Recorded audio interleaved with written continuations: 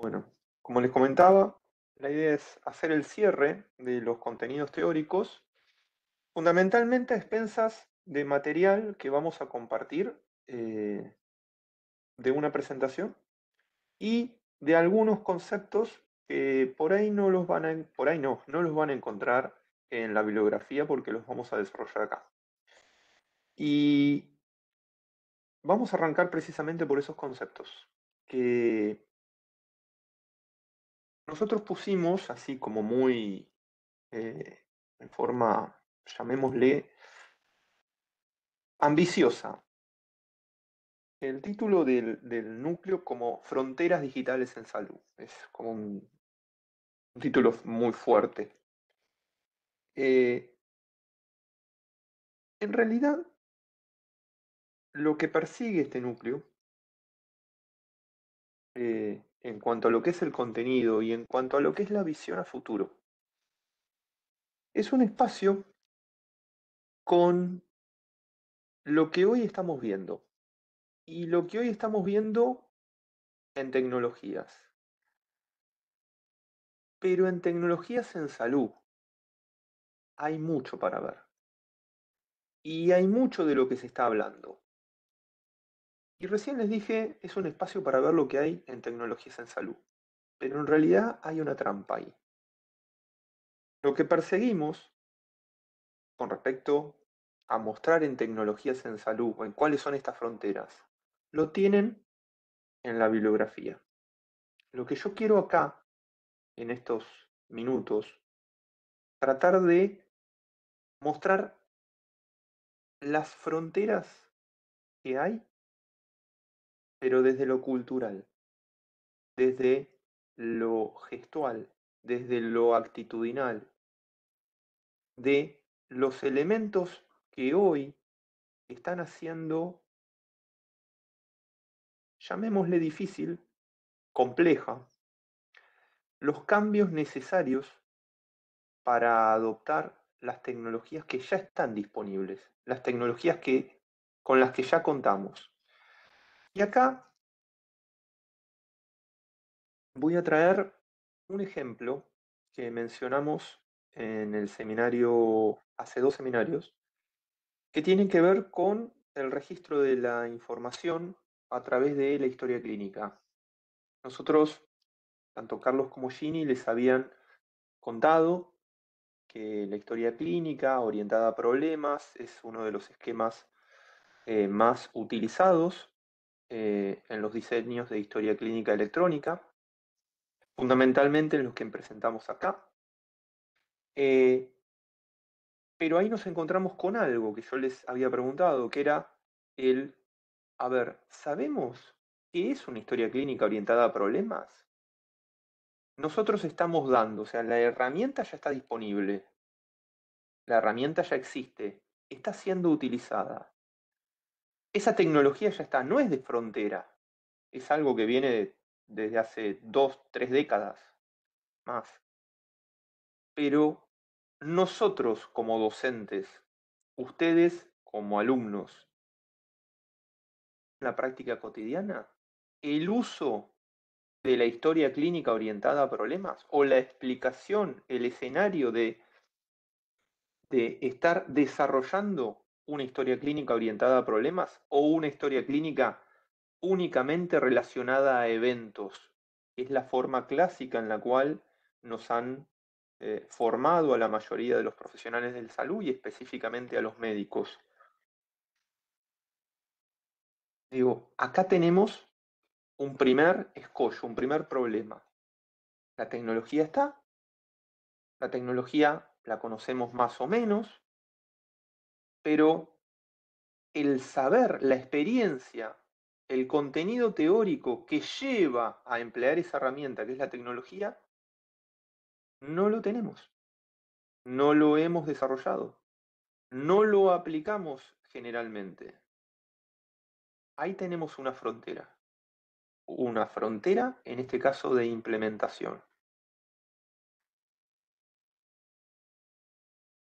Vamos a otro ejemplo a otro contenido. La alfabetización. alfabetización en salud. Hemos mencionado en varias oportunidades a lo largo de la, de la cursada el tema del alfabetismo. Compartiendo por ahí experiencia con otros colegas,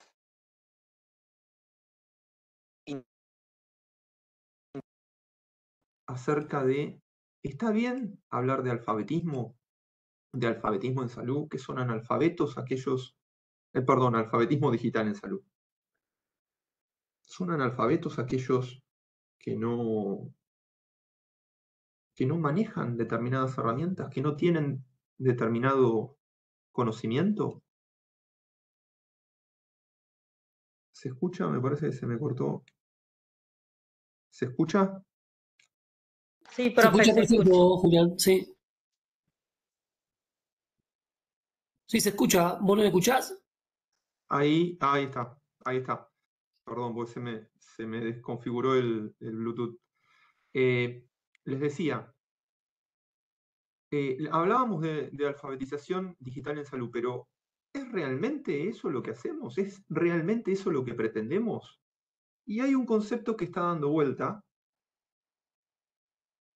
que tiene que ver de forma eh, tangencial a la alfabetización.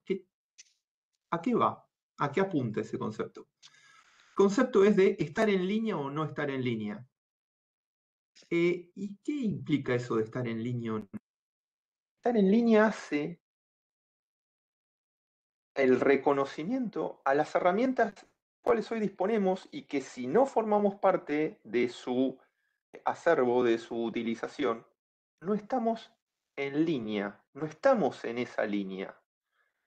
Y esto, al día de hoy, está generando una segmentación, una diferencia, que en principio es muy incipiente en algunos escenarios, pero en otros ya es bastante notoria. ¿Y por qué digo en algunos escenarios? Bueno, nuestro país tiene algunas características particulares. Dentro de estas eh, características, tenemos en cuenta que disponemos de una red de conectividad, como para decir, podemos implementar las tecnologías en salud, una red amplia con las necesidades y las adaptaciones necesarias para que podamos implementar todas esas tecnologías a lo largo y ancho del país? ¿Qué les parece? Eh, no, yo creo que no. No, eh, está, está fragmentada nada más en provincia de Buenos Aires. Si habláramos, no hablemos de país, de provincia de Buenos Aires, este, no creo que esté, por ejemplo, el hospital Ramón, yo soy de Tandil, el Ramón Santa Marina de Tandil con el hospital este, intersonal de acá. Te voy a dar un ejemplo más sencillo sin meter directamente en lo que es salud. Digo, conectividad. Que vos puedas, que vos puedas, por ejemplo, tener el mismo nivel y calidad de conectividad en tu dispositivo móvil en Tandil o en General Pueyrredón o en Benito Juárez, por darte un ejemplo así como de cercanía. O sea, si eso no lo tenemos asegurado, que es uno de los cimientos para estar hablando, es muy difícil que podamos desarrollar e implementar las soluciones que en teoría ya disponemos. ¿Me explico? eso es básico. Y eso es otra frontera que tenemos que asumir. La disponibilidad de conexión o el acervo red de conectividad a nivel, si queremos, arrancamos por lo local, vamos a lo regional o provincial y después a lo nacional. Pero ahí tenemos otra frontera que ya la estamos eh, viviendo. Les mencionaba lo de estar en línea o no. Otra otra, otra dimensión de, de esto de estar en línea o no. Nosotros estamos hablando, este espacio que estamos compartiendo, es entre profesionales de un lado, docentes, y estudiantes de una carrera universitaria. Algunos con antecedentes de otras carreras, algunos que trabajan, pero en definitiva es un grupo poblacional que en principio es económicamente activo y productivo. ¿Qué pasa cuando nosotros nos vamos no al escenario poblacional de los menores, que en teoría son nativos y hay bastante literatura al respecto de cómo interactúan con los medios de forma más amigable, por los diseños, no me voy a extender en eso. Pero ¿qué pasa cuando nos vamos a los grupos poblacionales más grandes? En edades más avanzadas del ciclo vital. ¿Qué sucede ahí con las tecnologías? ¿Qué sucede ahí con el alcance? ¿Hay alguna frontera ahí? ¿Qué les parece? De principio les digo que sí, y muy grande. ¿Por qué? Limitémonos a pensar esto unos segundos. A nivel mundial, a nivel global, la población está envejeciendo. No es nada nuevo esto que les digo. A nivel local, en nuestro país, está sucediendo el mismo fenómeno. Y hay una estratificación diferente de lo que es la pirámide poblacional. En algunos centros, en algunas regiones, la base está más ancha que generalmente se asocia a lugares o poblaciones de menor escolarización, de menor ingreso, lo que se conoce habitualmente como los determinantes sociales de la salud y enfermedad. Pero, ¿qué pasa con los estratos más avanzados de edad? ¿Están incluidos en esto de la digitalización, la alfabetización digital, los elementos informacionales, las aplicaciones, positivos, están diseñados en primera instancia para este grupo poblacional, están incluidos. Esto se los digo porque son el grupo poblacional que mayor carga de enfermedad tiene a nivel mundial. Esto es un problema. ¿Tenemos una frontera ahí? ¿Cómo incluimos a los adultos mayores? ¿Diseñamos soluciones? Soluciones, terapias. Después vamos a hablar un poco de terapias digitales, que es el, último contenido. Pero diseñamos pensando en los adultos mayores. Por ejemplo, la tipografía, los colores, el fondo, la interacción, la cantidad de pantallas. Les doy como ejemplos de lo que es de diseño eh, orientado al, usuario. Eh, cuestiones de seguridad, cuestiones de prescripción, un profesional de la salud que le indique a un paciente añoso que realice tal o cual cuidado en base a una aplicación o a un variable. Esto no es menor, porque la carga de enfermedad que llevan las personas mayores es muy grande y muchas veces no está incluido. Otro ejemplo son las poblaciones vulnerables. Y acá cuando digo las poblaciones vulnerables me refiero específicamente a las poblaciones con trastornos o con enfermedades mentales. La carga de enfermedad para estas, eh, esta población o la carga de enfermedad, mejor dicho, de, salud, de enfermedad mental, está en aumento. A tal punto que ya está entre las primeras 5 a 7, depende cómo se quiera definir, 5 a 7 enfermedades más prevalentes a nivel mundial. Las tecnologías, en, las tecnologías digitales en salud, ¿llegaron para ocupar un lugar ahí? Eso es una pregunta que les hago. ¿Tienen conocimiento de algunos, y lo dejo como punto de inicio o punto de, despegue para lo que voy a, traer dentro de unos minutos?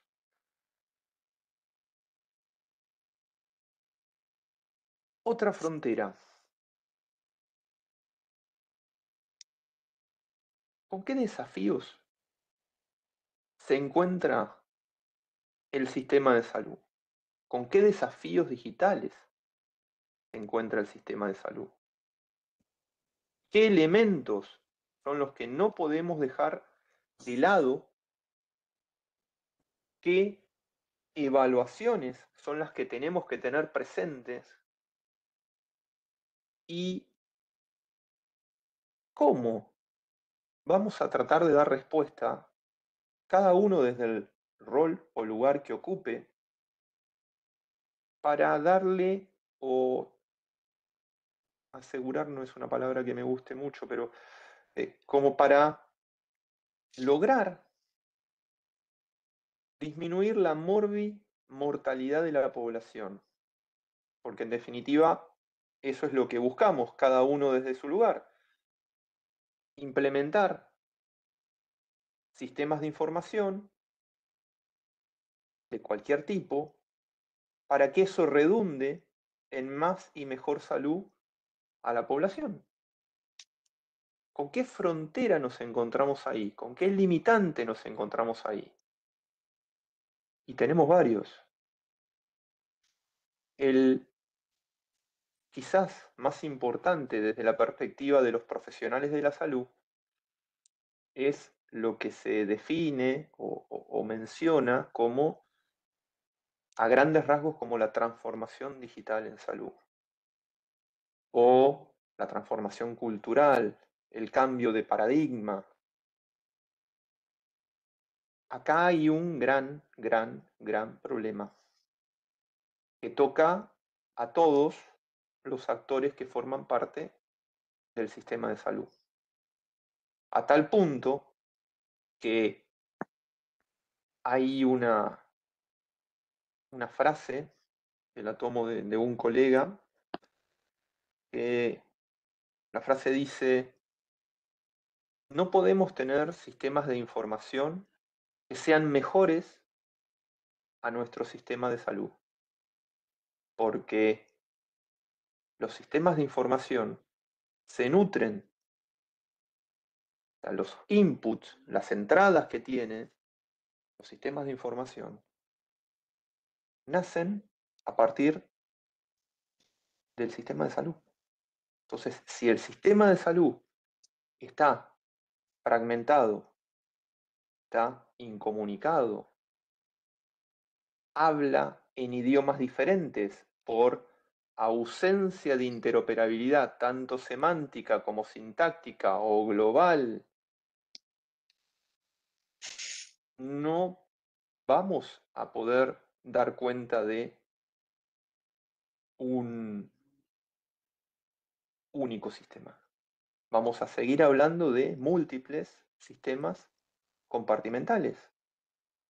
Y esto que vos mencionabas, Victoria, de no poder eh, estar en contacto el hospital de, eh, de, Tandil con el de Mar de Plata, te lo, te lo llevo a, una, a un punto eh, más, más micro todavía, que es entre un consultorio de un profesional privado que esté al lado del hospital de Tandil.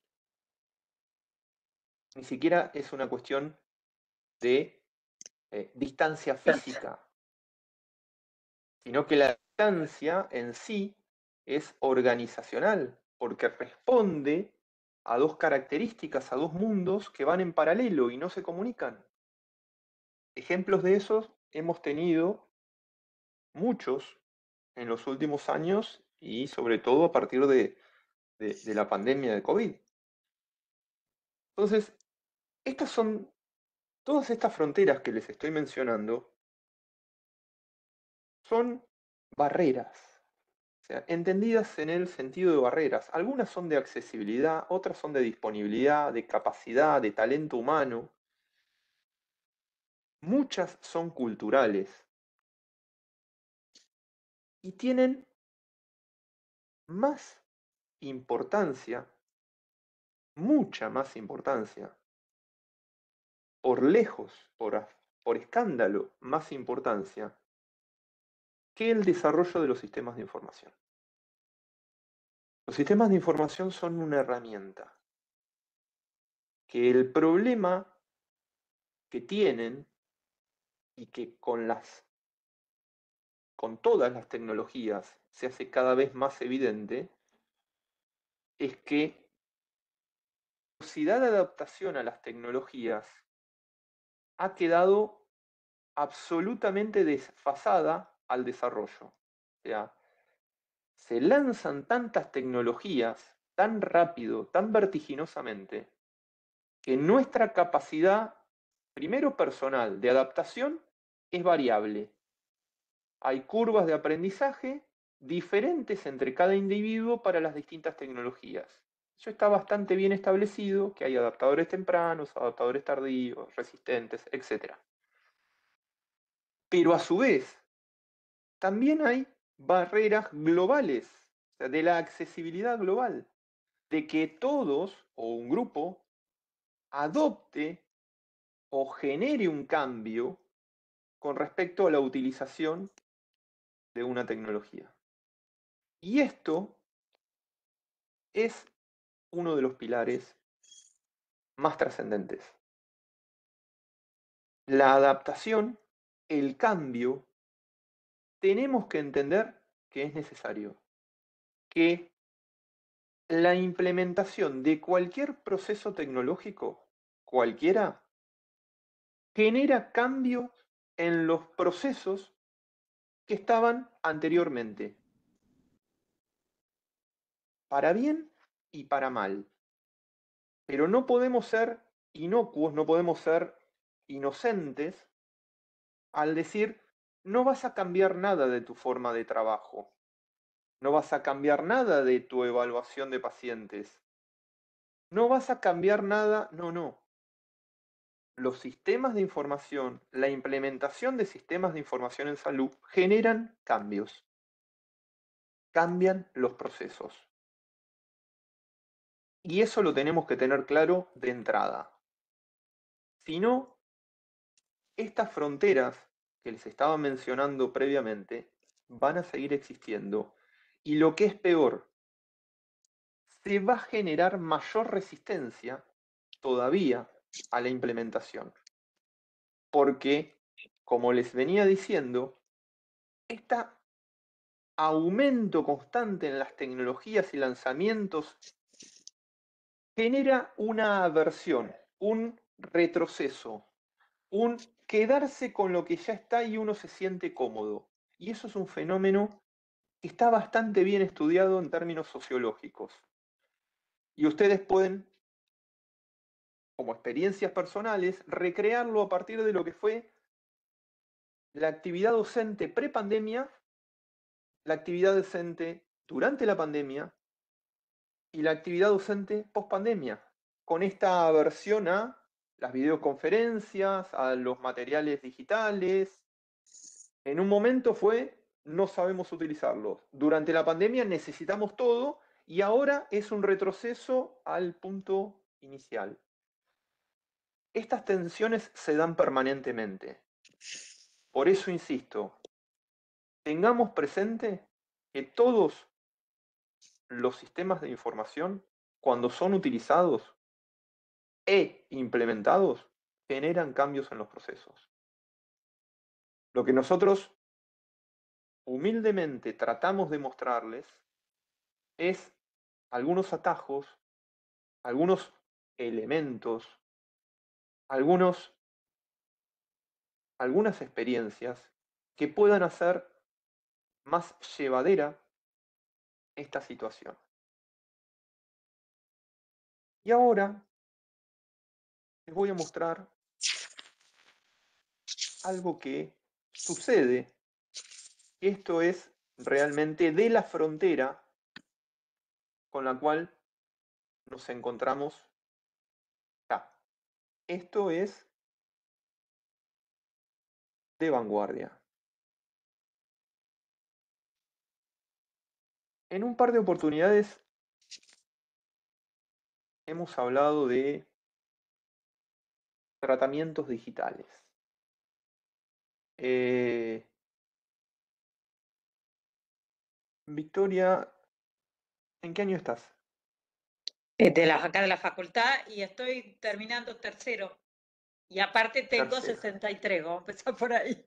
Yo soy uno de, esos, de una de esas personas a las cuales eh, a mí me gusta la tecnología y pretendo alfabetizarme desde ese punto, pero me ha costado bastante, porque no nací con esa. Mira, pero está bien, pero a ver, pero estás acá. ah, sí, es lo importante, sí. No, no, es, el, problema no es, eh, eh, bueno, esto que lo traigo, gracias por la aclaración, esto es algo que sí está bastante, bastante bien establecido, que es el, costo, ¿no? El costo atribuible, eh, el costo en términos del esfuerzo que conlleva la cantidad de horas de estudio, por ejemplo, o la cantidad de tiempo de exposición a un dispositivo. Está relativamente bien establecido que la población más grande le cuesta más en esos términos. Eh, y eso implica que uno tiene que redoblar esfuerzos para estas situaciones. Así que es doblemente meritorio. Eh, no sé si hay algún otro alumno en la sala, porque estoy compartiendo la pantalla y no, veo. Y Alberca, que no me acuerdo el nombre. De, a ver si quieren, coméntenme de qué año son, chicos. ¿En qué año están de la facultad, perdón? Hola, sí. el año pasado terminé quinto. Estoy rindiendo finales. Bien, Elio. O sea que ya cursaste farmacología. Sí, por suerte sí. Por suerte. Julián, ahí se está viendo, pero no modo presentación. No, no, no, ahora la, ahí ah, cargo. Ahí, a ver, creo que ahí está, sí. Perfecto. Manuel los tiene las corridas, Elio. Algo así, sí, con contenido, con mucho contenido y. Mm. Sí. Bueno, y. ¿Escuchaste o escucharon? A ver, lo hago, la pregunta se las hago a todos. ¿De tratamientos digitales? Gracias, Jorgelina. Cuando yo la cursé, creo que no. Es poco probable. Es poco probable. Pero, a ver, vamos a ver de qué va el asunto. Y la historia comienza así. Era una vez, érase una vez Juan. Vieron como todo cuento que había una vez, bueno, esta, érase una vez Juan. Juan es una persona que consulta a su médico de cabecera porque no descansaba lo suficiente. En palabras textuales de Juan, él no podía dormir bien. Su médico de cabecera lo evaluó y considera que hay que darle un tratamiento como en la anamnesis, el médico cabecera eh, ve, nota que es un paciente empoderado. Y esto es una definición muy interesante, porque el empoderamiento a veces se utiliza de una forma muy, eh, muy general. Y en, en las tecnologías digitales en salud hablamos de empoderamiento como sinónimo de una alfabetización digital en salud proactiva. O sea que la persona está muy al día de sus necesidades y muy al tanto de lo que puede hacer y responsabilizarse por sus actos en términos de necesidades. En ese sentido, Juan es una persona empoderada. Intercambia opiniones con el médico de cabecera y el médico le sugiere para, esta, para este insomnio que presenta que puede prescribirle una aplicación digital o un fármaco inductor del sueño. Como el médico confía plenamente en la autonomía del paciente como derecho bioético inalienable, le dice, bueno, a ver, ¿qué tenemos? Le cuenta de la terapia digital. Le dice que es una opción no farmacológica, que se basa en una aplicación móvil para ofrecer ejercicios de relajación, meditación, respiración y esto redundaría en mejorar la calidad del sueño, pero para utilizarla necesita que Juan esté compenetrado, que esté empoderado en esa situación, en esa utilización de la aplicación y siga ordenada y adecuadamente los pasos que le indica la aplicación. Como ventajas, le señala que es accesible, que puede ser personalizable, o sea, que puede elegir una serie de actividades de acuerdo a sus necesidades, sus tiempos, que es interactiva y que puede ser altamente configurable. Otras de las ventajas es que no tiene efectos adversos. ¿En qué sentido? En el sentido clásico de los efectos adversos farmacológicos y que además puede ser utilizada con otras intervenciones. O sea, puede ser un tratamiento único o un tratamiento coadyuvante con dispositivos o intervenciones psicológicas, conductuales e incluso farmacológicas. Ahora, la opción del fármaco inductor del sueño. Bueno, es la opción que seguramente les han eh, enseñado en farmacología, ¿no? En la cual uno, eh, como profesional, como médico, prescribe un fármaco que sea inductor del sueño, que facilite la obtención del sueño. Las ventajas que presentas la rapidez que es eficaz y es muy fácil de utilizar. Es una pastillita, puede ser sublingual, 10 minutos está durmiendo, se tiene un sueño reparador, algunos lo representan como el mejor sueño que haya tenido en mi vida. Pero ¿qué pasa? ¿Es todo gratis? No. Hay efectos adversos, efectos secundarios, como la somnolencia. Puede quedar la persona aletargada, con mareos, incluso confusa. Y hay situaciones de dependencia o rebote a la discontinuación de la medicación. Y además puede interferir en las funciones cognitivas. Y esto por ahí lo deben haber leído en los prospectos, que no se puede manejar, no pueden realizarse actividades que requieran la atención plena bajo el uso de determinados eh, fármacos inductores del sueño.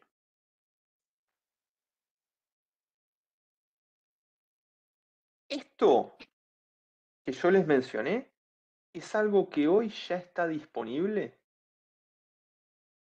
a nivel mundial. Esta situación hipotética que les mencioné, hoy ya está disponible a nivel mundial. Acá en Argentina la disponemos, la tenemos. Ya vamos a ver. La terapia digital forma parte de uno de los tres grandes grupos de soluciones digitales, eh, es como una bolsa con distintas definiciones. ¿Qué incluye esa bolsa? Bueno, soluciones del bienestar y el apoyo que generalmente tienen que ver con lo que es el seguimiento o la observación, la consulta eh, para con los pacientes. Eh, el ejemplo típico de esto son las plataformas de salud o los, em, las guías de meditación, de ejercicios, etc. Después hay otro grupo que forma lo que son las soluciones de diagnóstico y seguimiento, eh, que acá yo les había, al momento del seminario de variables, habíamos hablado un poco de el monitoreo intensivo de la glucemia. Eh, acá ingresaría eh, este tipo de, aplicaciones de administración de medicamentos, insulinas, eh, registro de, de, otros medicamentos, etc. Y por último, está la terapéutica digital, que a diferencia de los dos de las dos soluciones anteriores, la terapéutica digital tiene que ver con que son intervenciones directamente aplicadas a los pacientes que buscan determinados parámetros de eficacia. Por eso se dicen que son una nueva clase de medicina. Son intervenciones generalmente bajo el espectro de la terapia conductivo, cognitivo-conductual digital, que buscan mejorar las funcionalidades, las necesidades en salud. Depende el enfoque, depende el resultado. Pero para hacer el ejemplo de lo que era la aplicación para el sueño, ¿qué buscaría que el paciente duerma, que tenga determinados parámetros de calidad de ese sueño, y que al ser comparado con la medicación inductora del sueño, tenga resultados en eficacia similares y resultados en seguridad aceptables. Esto de la terapia digital es un nuevo paradigma en tratamientos. Ya hay a nivel global tratamientos aprobados. Y acá yo les puse la línea temporal, una línea temporal, no es que sea la línea temporal, eh, pero para que veamos de qué estamos hablando, de qué horizonte temporal estamos hablando. Esto lleva seis años.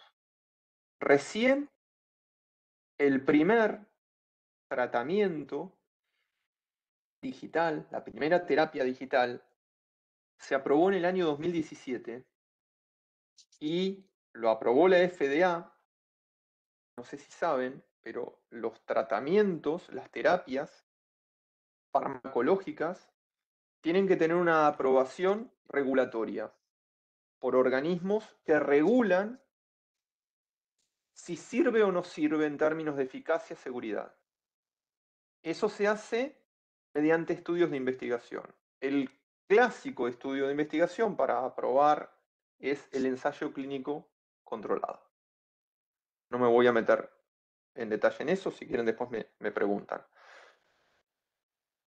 El primero, la primera tecnología de este tipo se aprobó en el 2017 por la FDA, que es uno de los principales reguladores de tecnología a nivel mundial, que regula lo que es eh, las tecnologías que se dispensan se producen, algunas se producen o no, pero que se utilizan en los Estados Unidos de Norteamérica. El equivalente de la FDA en nuestro país sería la ANMAT. En el 2017 se aprobó la primera tecnología digital, que era para el tratamiento del consumo, del abuso por consumo de sustancias, fundamentalmente opiáceos. En el 2019, Alemania fue el primer país del mundo en asegurar un reembolso, un reintegro por utilizar estas tecnologías digitales. ¿Qué significa esto de asegurar un reembolso, un reintegro?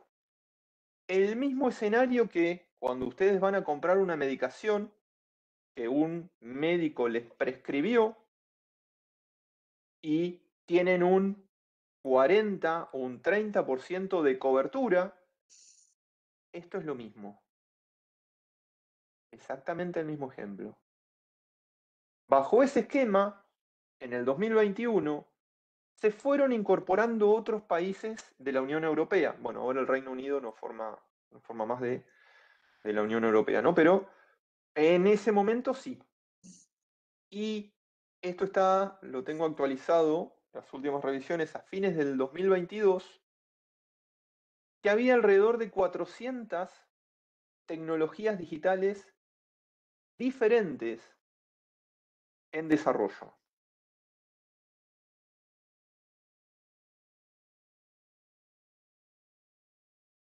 ¿Cuál es la situación con la que nos encontramos hoy a nivel mundial?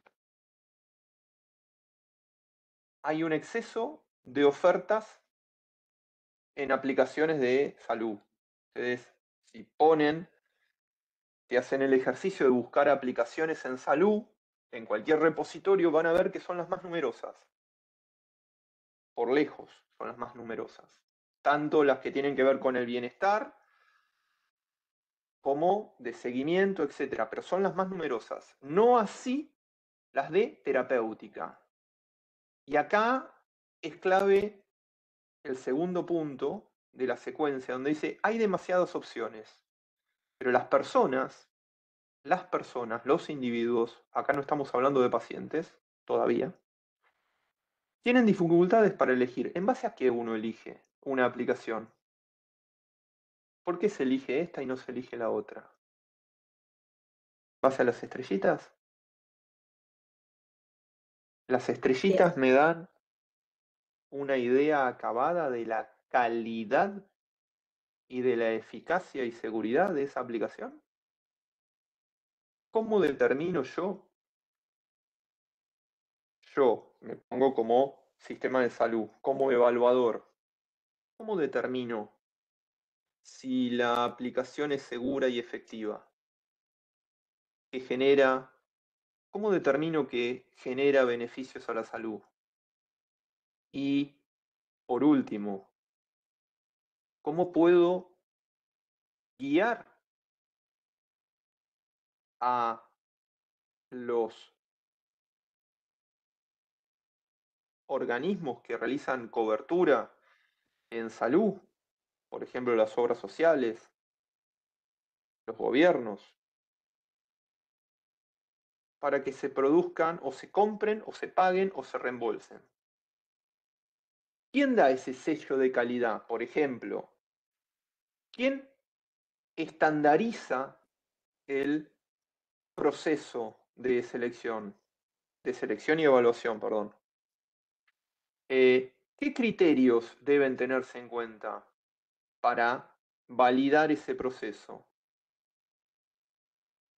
Todo esto está hoy en discusión, está en efervescencia, está en, bueno, a ver cuáles son los elementos en, en, el, en el escenario de regulación.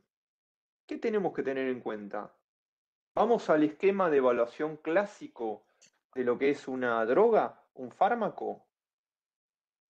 ¿Es lo mismo? ¿Lo voy a evaluar de la misma manera? Porque, como ejemplo, un fármaco con los años, salvo que haga alguna modificación química que genere una molécula diferente. Pero una tecnología es un software. Ese software recibe actualizaciones periódicas, algunas menores, otras mayores. Es el mismo software el que yo evalué inicialmente? ¿Cambió? ¿Qué cambió? ¿Me modifica lo que previamente había evaluado? Todas estas son preguntas que hoy están, eh, se están llevando a cabo.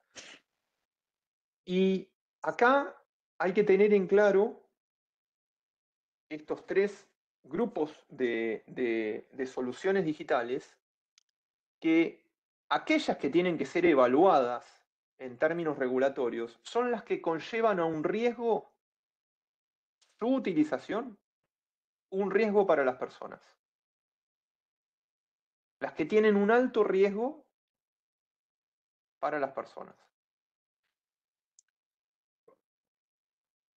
¿Qué tenemos, eh, ¿Qué tenemos que tener en cuenta para las prescripciones? Para las prescripciones de las terapias digitales. O para las terapias digitales en sí, perdón. Eh, que pueden ser utilizadas independientemente. O sea, pueden ser utilizadas solas o con otras terapias clínicamente validadas. Eh, esto se los había mencionado, que suelen evaluarse con los criterios y requisitos de los productos farmacéuticos, pero que eso va, se pone en tensión con los procesos que llevan al desarrollo de las tecnologías digitales, porque son diferentes. Por eso, yo recién hace un par de minutos les decía, hay que darle importancia a las estrellitas a la evaluación del usuario. Y acá hay un paradigma importante a cambiar. El rol del usuario. Y vuelvo a algo que inicialmente había comentado, que era lo del paciente empoderado. ¿El paciente juega un rol? ¿La persona juega un rol en la evaluación? Esa es una pregunta. Hay algunos indicios permitirían decir que sí. Pero hoy es una pregunta todavía abierta. ¿Qué pasa en la Argentina? ¿Cuál es la situación en nuestro país? Bueno, en nuestro país la ANMAT engloba a lo que es eh, la tecnología, la terapéutica digital en el apartado de producto médico es un producto para la salud, que no utiliza un medio farmacológico, inmunológico o metabólico para realizar su función principal en seres humanos. Es muy amplia la definición, pero es la que está actualmente vigente. Y a tal punto que hay un repositorio, perdón, acá. No. Puse acá. Hay un repositorio que lo pueden consultar. Esta es documentación oficial del ANMAT, en el cual al día de hoy hay registrada una sola tecnología está enfocada, o está diseñada, mejor dicho, para el control y seguimiento evaluación, control y seguimiento de pacientes anticoagulados. Eh, vuelvo acá.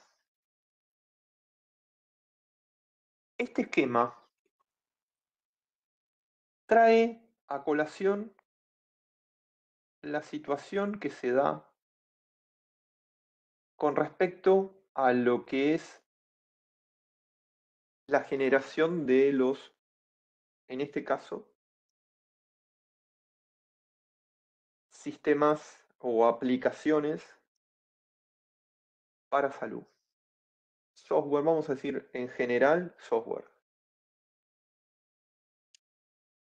El mercado de la salud es un mercado regulado, mercado global. Esto es lo que ustedes pueden encontrar como aplicaciones dentro de un store, dentro de una tienda de Apple o de Google, por decirlo.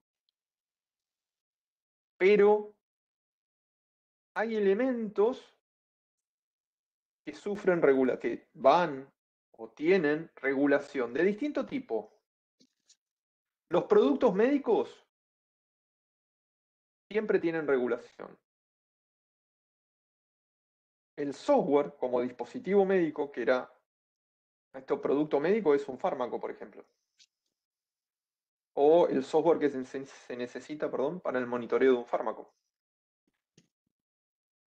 Este es el escenario que hoy tenemos representado de las terapéuticas digitales. Que debería estar acá, pero podemos encontrar tecnologías digitales por fuera, que están en el mercado, que están siendo utilizadas.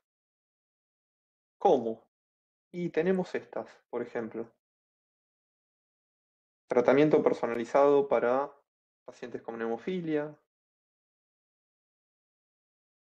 Un nuevo fármaco se presenta como una app que personaliza el tratamiento.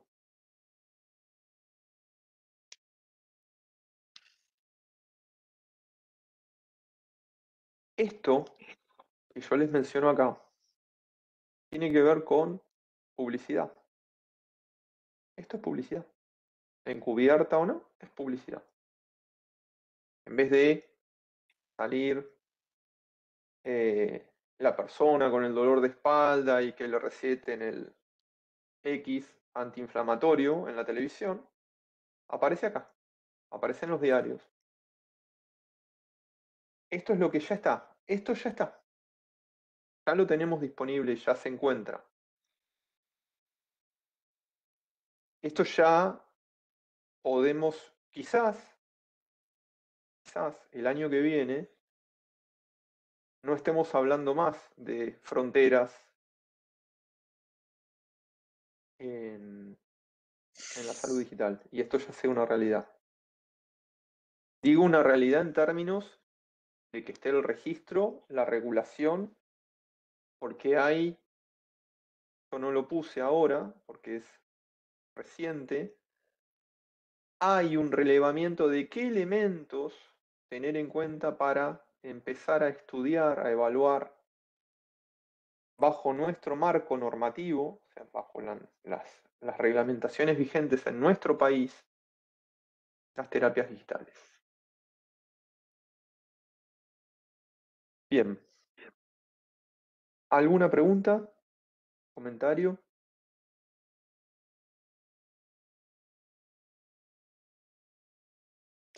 Eh, sí, una pregunta. Eh, o sea que software médico y producto médico son dos cosas diferentes. Sí, sí. Producto médico engloba software. Por ejemplo, un reactivo de laboratorio es un producto médico. ¿Entiendes? Sí. Una, eh, una sonda, una sonda vesical, por decirte, es un producto médico. Un catéter de vía central es un producto médico. No sé si fui claro. Sí, sí, sí. Bien. ¿Alguna otra pregunta?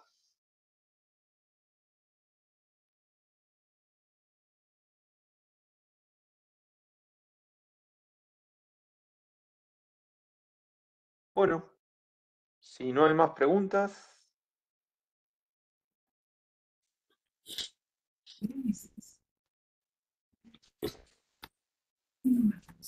Nos vemos en cualquier otro momento. Perfecto, Julián. A ver, sí, decime, Jorgelina. Para que dejo de.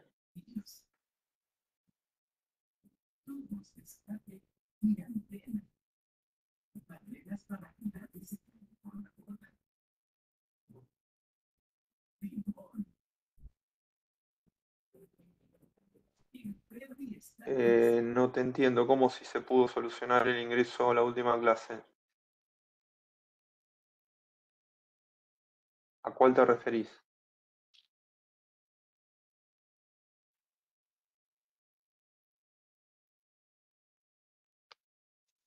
eh, sí pudieron, se pudo ingresar. Yo estuve en la, no, no sé, mm. ¿Vos decís al ingreso o a la grabación? No, no te entiendo. Eh, ¿Tenés el micrófono? ¿Podés eh, hablar?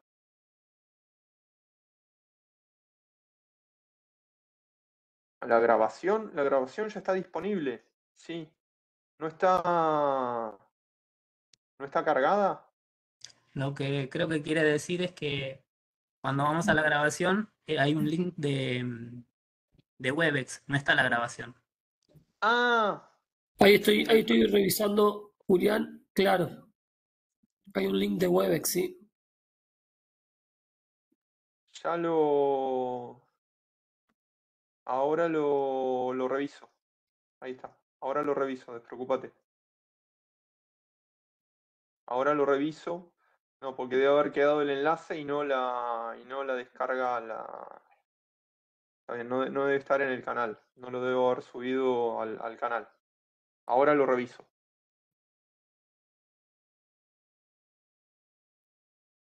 ¿Alguna otra pregunta?